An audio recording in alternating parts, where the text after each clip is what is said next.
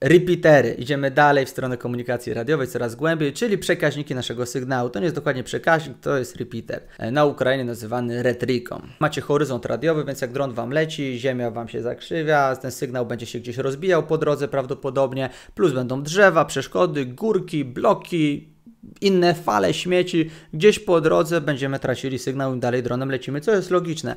Więc chcemy, żeby mieć sygnał w powietrzu, który będzie przekazywał ten sygnał. Jeśli macie dostępny wysoki budynek, macie dostępną wieżę, wykorzystujecie do tego, masz telekomunikacyjny budynek, cokolwiek, ale częściej się to robi na Mavicu się podczepia, bo to waży tam 500-600 gram, Mavic to utrzyma, przez te 30 minut powinien to utrzymać, się podczepia pod niego, natomiast wtedy, będę o tym mówił, są problemy e, z doborem częstotliwości. Można też zrobić drone repeater, Rosjanie chociażby to zrobili podejrzewam, że pod, wiem o tym, że Ukraińcy też takie rozwiązania mają, czyli robicie FPV, która służy za repeater de facto. Czyli podczepiamy pod to jakby, albo montujemy bezpośrednio dane odbiorniki i nadajniki. Więc zacznijmy od prostszego. Jeśli chodzi o sterowanie, Zazwyczaj w stronę drona będzie szło to 700, 900 MHz. To są najczęstsze częstotliwości, które są używane. Natomiast od repeatera do nas, do jakby pilota, do, do stacji naziemnej będzie szło już 2,4 GHz. Prościutko rozrzucamy sobie dwoma popularnymi, dostępnymi powszechnie pasmami, nie ma problemu, wszystko powinno działać. Jedyny trik przy LRS-ie i TBS Crossfire, ogólnie przy protokole Crossfire jest taki, warto to wiedzieć, gdy podpinacie odbiornik do kontrolera lotu, ogólnie podpinacie odbiornik, on ma i transmit i receive, czyli i wysyła dane i odbiera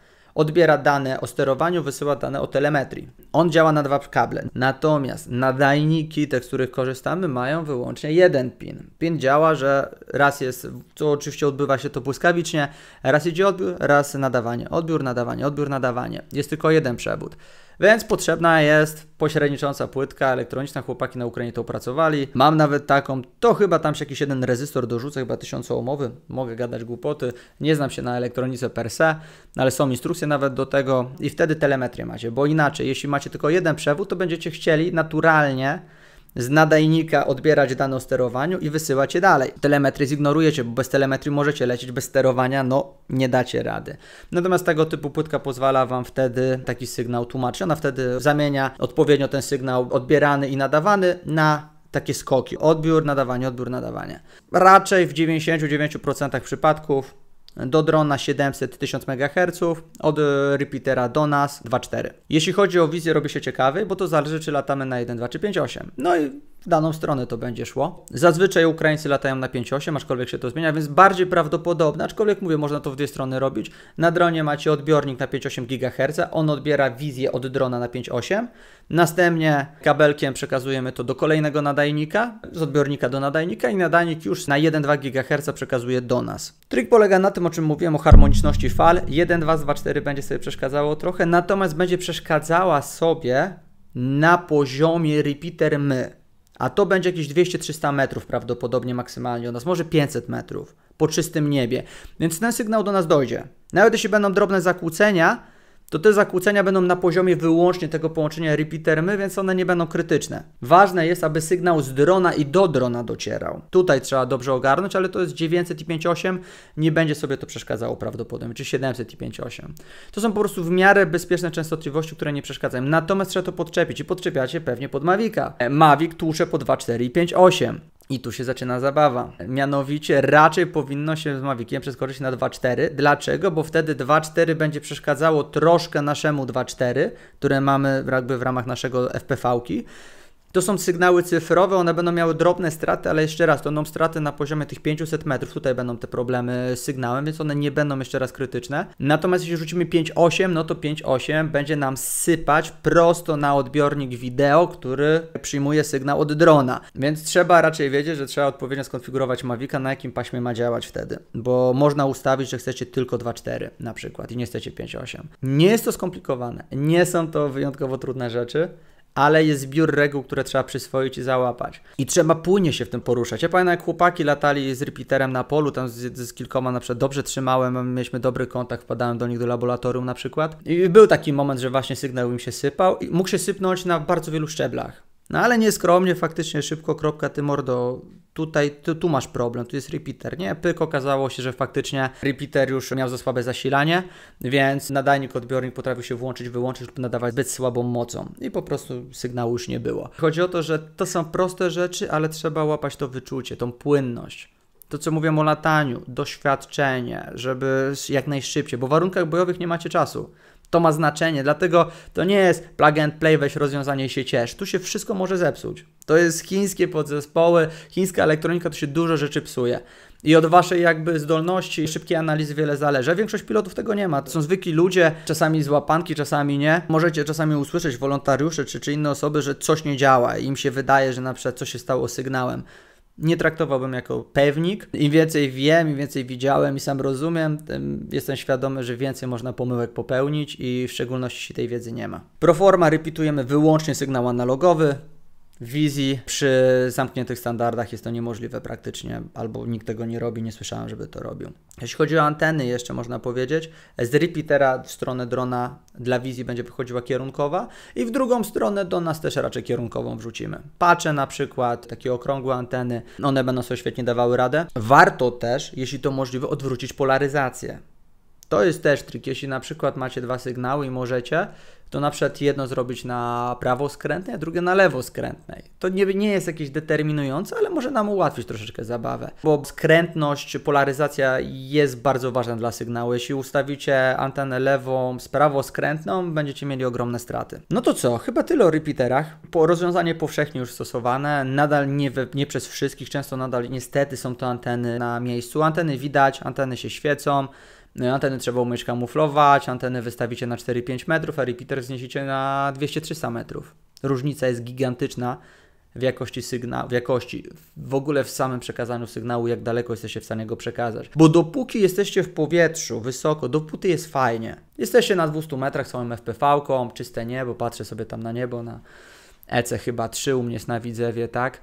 Spoglądam sobie na komi. To jest czysty sygnał. Ja swoim mini dronem byłem w stanie przelecieć prawie kilometr na śmiesznej antenie, bo miałem czyste niebo i sobie przeleciałem na drugą. Znaczy ja nie latam oczywiście, bo nie mam uprawnień. Natomiast y, można to zrobić na mini dronie. Natomiast w momencie, gdy do ziemi będziecie lecieli, no to sygnał wam się sypnie błyskawicznie. Dlatego na filmach, jeśli obserwujecie je, widzicie to, że to się dzieje. Ten sygnał znika im przy ziemi czasami bardzo wcześnie. To właśnie zależy od ułożenia repeatera. Jeśli repeater będzie tak ustawiony i tu będzie drzewo, sygnał nam się sypnie, ale jeśli repeater będzie tak i drzewo będzie tak, to sygnał prawdopodobnie zachowamy do samego końca. To zależy od wielu czynników, ale jest to krytyczne absolutnie kluczowe dla powodzenia misji. Jeśli źle ułożycie antenę na repeaterze, jeśli źle częstotliwości rozrzucicie, to wszystko może sprawić, że będziecie mieli duże straty na sygnale i sumarycznie no będzie lipa. Zagłuszanie.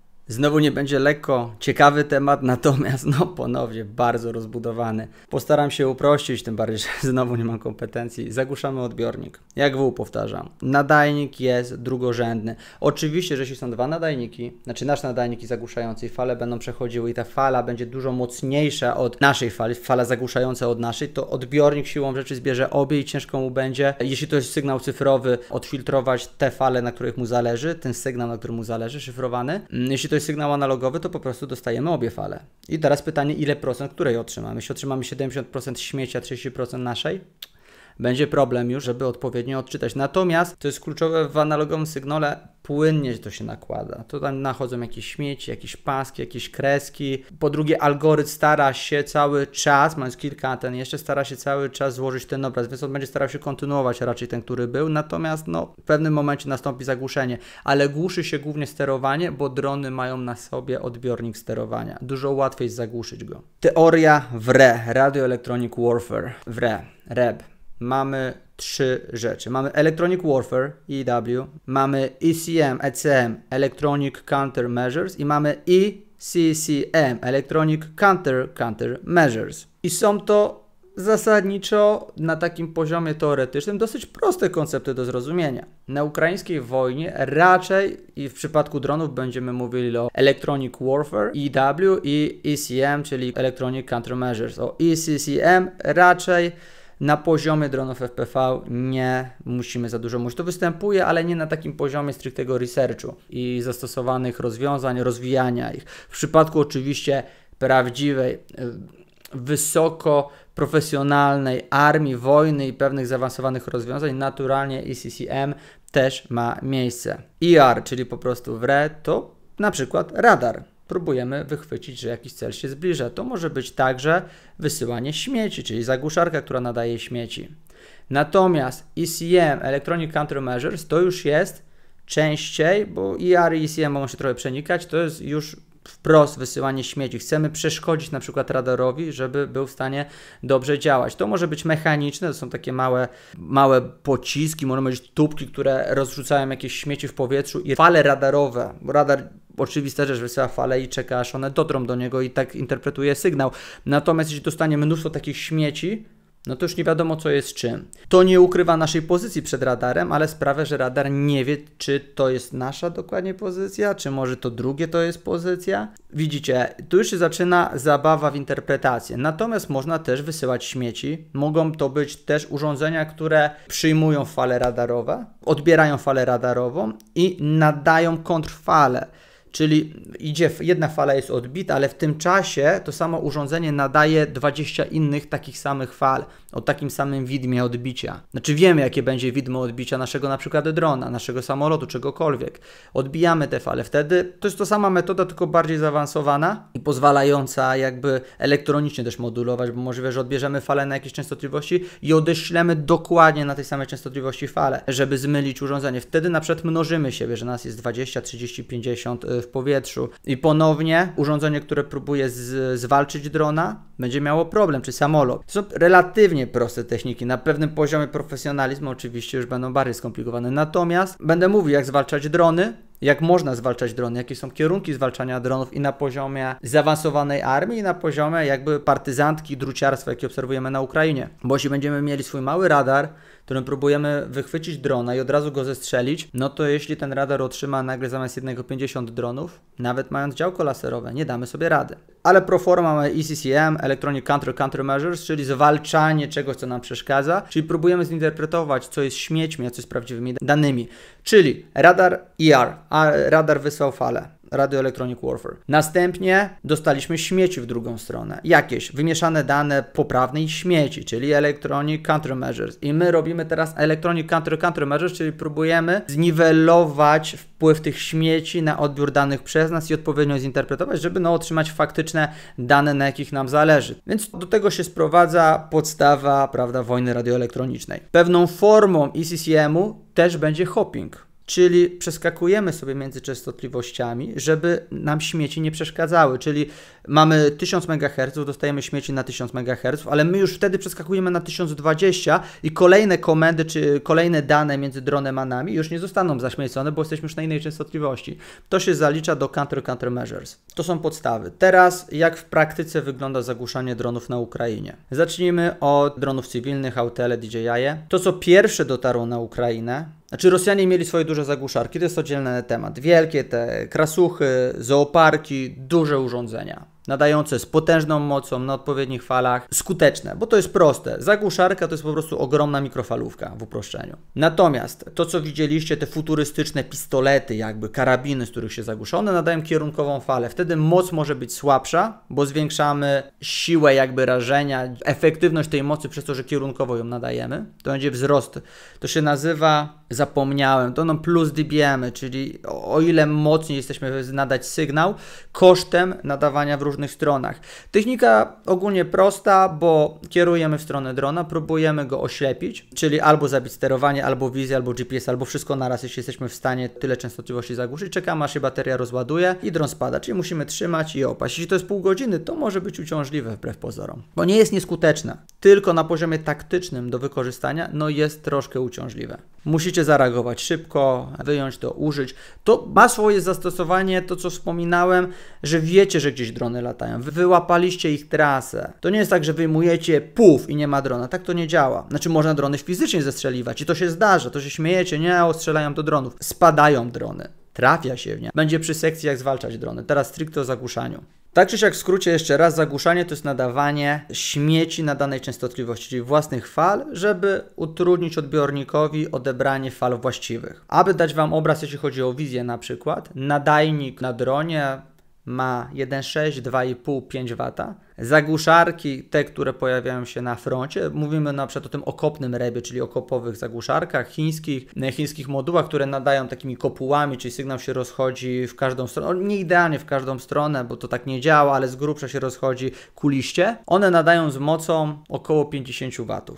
30, 40, 50 W. Jeśli Wy nadajecie wideo 5 W, a tu pójdzie 50 W, prawdopodobnie w dużym stopniu tą wizję zagłuszycie mimo że to jest wizja, czyli odbiornik jest po naszej stronie. Natomiast jeśli zagłuszacie sterowanie i odbiornik jest po stronie drona i my mamy nadajnik dwuwatowy, bo zazwyczaj takie jedno lub dwuwatowe mają nadajniki piloci, ja sam mam jednowatowe na 915 i jesteście oddaleni na przykład o 5-10 km od drona, a ktoś w promieniu 500 metrów od drona włączy 50 watów, no to nie ma szans. Sterowanie siada, LQ spada błyskawicznie. Natomiast Natomiast to są rzeczy, które pobierają prąd. Potrzebujecie mieć dostęp do zasilania. One świecą też.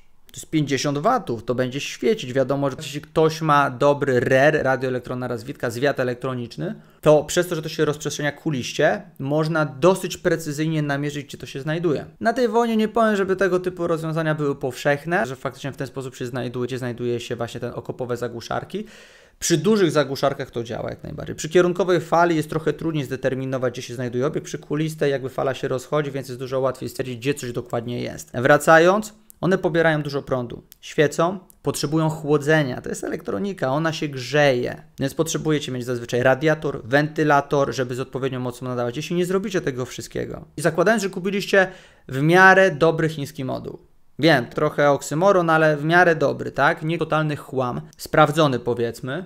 I nie zapewnicie mu odpowiedniego chłodzenia, odprowadzania ciepła, on nie podziała długo minuta, dwie, trzy. Niektóre tego typu nadajniki, zagłuszarki nadajniki, one potrafiły po minucie spać z mocą do kilku watów. To już wtedy drona nie zagłuszycie. Wiecie, wszystko się odbywa jednak w stresogennych warunkach. One nie mogą non-stop działać, bo będzie je widać. Potrzebna jest osoba, która faktycznie śledzi to. Najlepiej osoba z analizatorem widma, czyli odbiornikiem, który odbiera fale i widzicie, co się dzieje w eterze. Trzeba mieć osobę świadomą, wiedzieć, jakie częstotliwości są używane, jak są zmieniane, to o czym mówię, że ciągle są zmiany. Możliwe, że raz Wam wyślą drona na 5.8, a innym razem Wam wyślą drona na 1.2, a może potem na 3.3, a ze sterowaniem raz 900, raz 700. A kija może wyślemy na 2.4. Znałem miejsca, gdzie na 2.4 GHz w pewnych momentach nie głuszyli Rosjanie na przykład. Może była rotacja, może dowódca był idiotą, może zapili, może sprzedali okopowe zagłuszarki, żeby zarobić i mieć tydzień wolnego, wykupić się u dowódcy. Takie historie mają miejsce na wojnie, więc może być bardzo dużo powodów, dlaczego dana częstotliwość w danym obszarze działa, a inna nie. Więc to, że macie urządzenie, które Wam znajduje drona, nie oznacza, że ono będzie działać. Potrzebujecie świadomą osobę, świadomą i na poziomie wiedzy, doświadczenia i zrozumienia, jak działa w ogóle to wszystko, o czym teraz mówię, i dwa, mającą świadomość taktyczną, operacyjną na poziomie swojego odcinka frontu. I wie na przykład, że zmienia się, rotuje się jakiś oddział po stronie rosyjskiej i może już co innego nam przylecieć. Co więcej, piloci są dosyć mobilni często, oni potrafią na różnych fragmentach działać. Zasadniczo już na dzisiejszym etapie wojny zagłuszarki, które się produkuje, to jest złączenie kilku modułów, które mają zagłuszać sterowanie. Wideo się raczej macha ręką. Nie mówię, że nie ma, nie mówię, że te krasuchy zooparki tego nie zrobią, zrobią, ale to jest rzadkie. To, na czym powinni się skupić piloci i ewentualnie my też jako państwo, żeby wiedzieć, co jest zagrożeniem na tu i teraz, to jest sterowanie. To jest zakres 700-1100 MHz, który już kiedy ja byłem zimą, obie strony, Rosjanie niestety szybciej starali się pokryć w całości.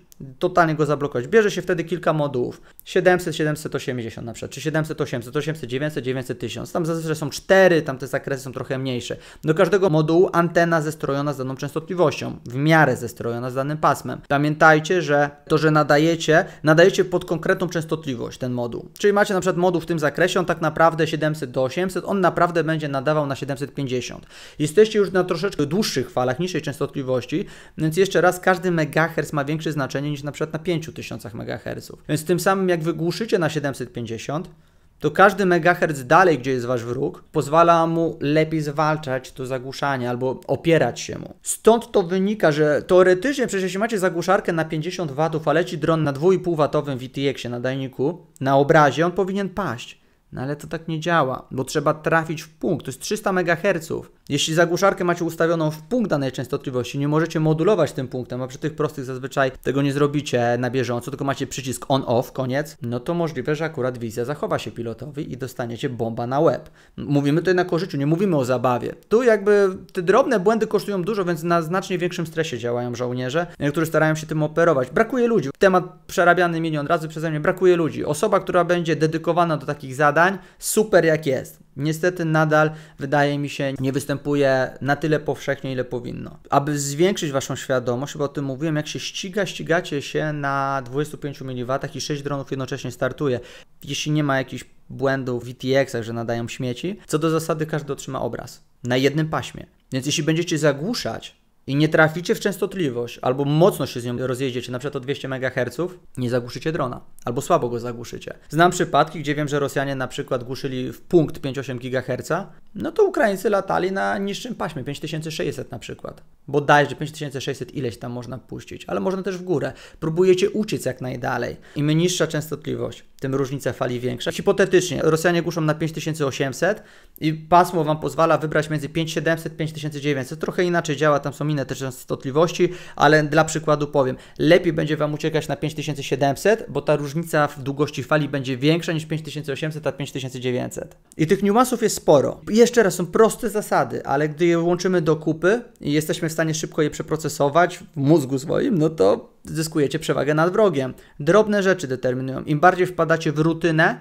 tym bardziej niestety wróg będzie nad wami nabierał przewagi. Strona, która jest bardziej kreatywna, bardziej inteligentna, zdolna lepiej przyswajać te informacje, będzie w stanie skutecznie walczyć. Bardzo często też, także na polskim Twitterze, myli się, choć to się poprawiło akurat, zagłuszanie od po prostu utraty wizji przez horyzont radiowy. Zagłuszanie na wizji zazwyczaj zobaczycie w ten sposób, że pojawią się jakieś paski, przecięcia, albo nawet obraz będzie nachodził, ale raczej to będą śmieci w postaci pasków. Jeśli po prostu Wam sygnał zaczyna szumić i znika Wam, i to może bardzo szybko nastąpić, to nie musicie, wiecie, że bardzo powoli, zalatujecie za budynek, nie macie wizji, błyskawicznie to może nastąpić. Możecie mieć słabą antenę, o tym nie wiecie, blisko tego nie widać, ale zalatujecie za przeszkodę, niezestrojona antena z częstotliwością, czy po prostu gdzieś delikatnie uszkodzona, od razu te straty będą bolesne, będziecie to widzieli. Bardzo często to jest horyzont radiowy, a nie zagłuszanie. Natomiast jeśli chodzi o sterowanie, na filmie będziecie widzieli RX Loss. Warto też patrzeć na parametr LQ, Link Quality, jak jest poniżej 20, zazwyczaj dron już podziękuje za imprezę albo będzie cienko. Jeszcze minus dBm,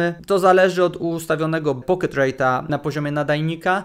Ta wartość może być różna, zazwyczaj minus 110 do minus 120 dBm to oznacza, że dron, kontroler lotu w zasadzie uzna to, że mamy utratę sterowania i wejdzie tak zwanego fail-safe'a, o tym później. Skoro wspomniałem o tych różnych zagłuszarkach, powiedzmy o odległościach. Nie lubię używać odległości, zasięgu, bo to jest nieprecyzyjne. To zależy od tak ogromnej ilości czynników, że podawanie zasięgu jest no groteskowe, ale okej. Okay. Rozumiem, producenci muszą to zrobić, więc podają odległość w warunkach laboratoryjnych, powiedzmy która nie wystąpi w warunkach bojowych. Te wielkie gany, prawda, railguny, możemy się pośmiać, karabiny, kilometr trwa w porywach, przy dobrych wiatrach. Raczej w 200-300 metrów bym liczył. Okopowy rep, te puszki do 300 metrów przy dobrych wiatrach kopuły. Nastawiłbym się na 50 metrów raczej. Że na przykład na jakimś BTR-ze Rosjanie ustawili coś takiego i dron tracił to i miał failsafe'a na wzlot ustawionego. On tracił sygnał na tyle, żeby failsafe się załączył na 8-10 metrach od obiektu. To było tyle, 80 metrów. W tym momencie dopiero była utrata sygnału. Więc no, ufanie temu za bardzo jest złym pomysłem. Dlatego też powinny być raczej próby i droga w kierunku pewnej automatyzacji tych rozwiązań. Ale pamiętajcie, że jeśli wylecicie dronem, zawsze macie przewagę nad tym, kto was głuszy.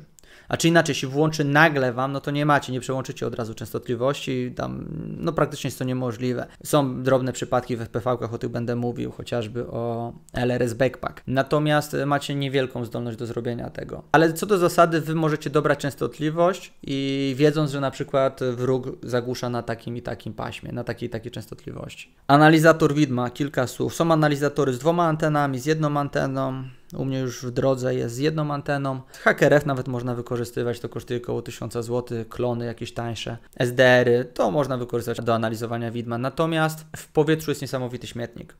Nie ma detekcji swój wróg. Ok, Rosjanie na poziomie sygnału cyfrowego w Orlanach, Zalach wiedzą, że to są ich drony.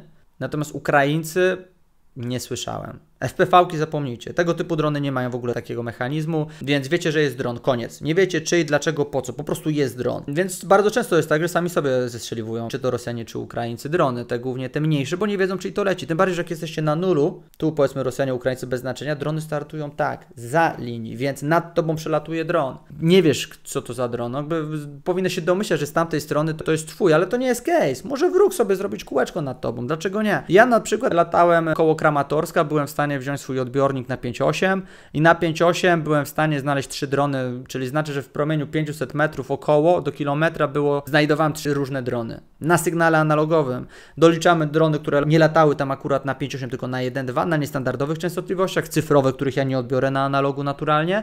Trzy tylko widziałem na jednym swoim paśmie jak sobie poprzeskakiwałem. I to regularnie były 2-3 w tamtym miejscu. Tam w niebie był kosmos, latało wszystko. Więc zestrzeliwanie dronów, niszczenie ich, w ogóle zagłuszanie ich jest naprawdę skomplikowanym tematem, bo nie wiecie, co jest twoje, co nie. Ten chaos determinuje pole walki. I nie ma idealnych rozwiązań w momencie, kiedy armia jest sama w sobie chaotyczna. I żeby była jasność, nie krytykuję Ukraińców, bo ja sam tak latałem, w takich warunkach, sam latałem swoimi dronami czy testowanymi, tam gdzie teoretycznie nie powinienem, ale co miałem zrobić? Trzeba było to robić, pójść pewnie na poligony, życzę powodzenia. Większość żołnierzy lata poza poligonami. Jak ktoś ma potestować, pouczyć się, mają kawałek pola i tam latają. Tak to wygląda, takie są realia wojny ukraińskiej i Dawajcie, nie oszukujcie się. Jeśli teraz mówię, wolontariusze czy, czy, czy inne osoby zaangażowane w wojnę na Ukrainie jeżdżą i są zszokowani, oburzeni takimi informacjami. Mówię, polatajcie sobie pod Kramatorskiem, zobaczycie, co się dzieje na niebie. Albo nad nie latajcie, tylko po prostu odbiornik włączcie. Jest wesoło. Ja jeszcze raz nie wiem, jak to rozwiązać, no bo ktoś powie, no to zabronić żołnierzom, no ale to gdzie się będą uczyć? No gdzieś trzeba znaleźć ten punkt, prawda, środka optymalny dla jednego, żeby żołnierze mogli testować i szkolić się, różne rozwiązania próbować i drugi punkt, żeby to było jednak w jakiś sposób uregulowane, ustandaryzowane, kontrolowane. Jeśli dron ma hopping, mówię już na przykład dual band, te dwa pasma przeskakuje, no zagłuszenie jest bardzo, bardzo trudne. Można głuszyć wiele naraz, ale jeszcze raz, prawdopodobnie to będzie 433 na przykład i 700, szansa, że będziecie mieli akurat zagłuszarkę na obu tych pasmach i że traficie w punkt tego pasma, co wspominam, im niższa częstotliwość, tym trudniej, więc na 433 trudniej, w sensie każdy megahertz ma większe znaczenie, więc na 433, że traficie, Mała szansa. No oczywiście, nawet załóżmy, że macie zagłuszarkę, w której moglibyście modulować częstotliwością. Czyli macie 433, leci dron na 560. Przestrajacie na 560. Wszystko się dzieje błyskawicznie. Dron bzz, leci do Was 80 km na godzinę, 100 km na godzinę. Super, macie inną antenę. Macie antenę, która jest o 130 MHz rozjechana względem tego na 433, a 560. Jeśli będziecie e, anteną na 433 próbowali wypuszczać sygnał na 560 MHz, będą ogromne straty. Więc siłą rzeczy większość energii elektrycznej nie zostanie przetransformowana w energię radiową. I siłą rzeczy tego drona po prostu nie zagłuszycie. Będziecie nadawali z mocą 50 W, a realnie moc wychodząca to będzie na przykład kilka watów. Dron machną ręką, nic się nie dzieje. Delikatne śmieci gdzieś może zbiorą. Więc w przypadku zwalczania dronów pod kątem zagłuszenia potrzeba ogromnej świadomości, błyskawicznej reakcji, kooperacji, współpracy. Jezu, to tak nie działa, że kupicie sobie Wunderwaffe. Kuba, mogę to powiedzieć, Kuba teraz dostał taki jammer mały, 12-watowy. To jest zabawka, może gdzieś sobie ustawicie. W warunkach bojowych na 12 watach opierać w momencie, gdy VTX-y potrafią mieć 5 watów. Sterowanie te 2 waty, mówię, no jeśli przyłożycie przy dronie, spoko, zadziała, ok, ale no pamiętajmy też, że piloci popełniają błędy. Więc on może lecieć na cel, a realnie, jeśli jeszcze jest jadący, trafi 2 metry obok. Ale przez to, że on straci sterowanie, jest ryzyko, że on trafi idealnie w cel. Nie chodzi o to, że jeśli tracicie sygnał na ostatnich 5 metrach, wszystko się odbywa już wtedy tak szybko, że tak naprawdę, czy wy go zagłuszyli, czy nie, prawdopodobnie jeden pies. Dochodzimy do poważnego wre, coś o czym wiem, znacznie mniej, duże mikrofalówki rosyjskie i ukraińskie, jeszcze raz w szczególności rosyjskie, one potrafią wyciąć duży zakres pasm naraz. Niektóre są urządzenia, które potrafią wysłać impuls elektromagnetyczny, który doprowadza do mikrozwarć na elektronice i elektronika się pali. To jest broń obosieczna, niszczycie jej swoimi wrogowi. Podobnie jeśli głuszycie odpowiednie pasma, na przykład GPS-a, pozbawiacie skuteczności wszystkich i siebie i wroga. I to jest pytanie, czy warto? Ja nie mówię, że nie warto, mówię, to zależy od danej sytuacji taktycznej. Włączanie tego od tak no to nie jest dobrym pomysłem. Trzeba wiedzieć, czy chcecie to zrobić. A po drugie, to będzie się świecić. To będzie nadawać z potężną mocą.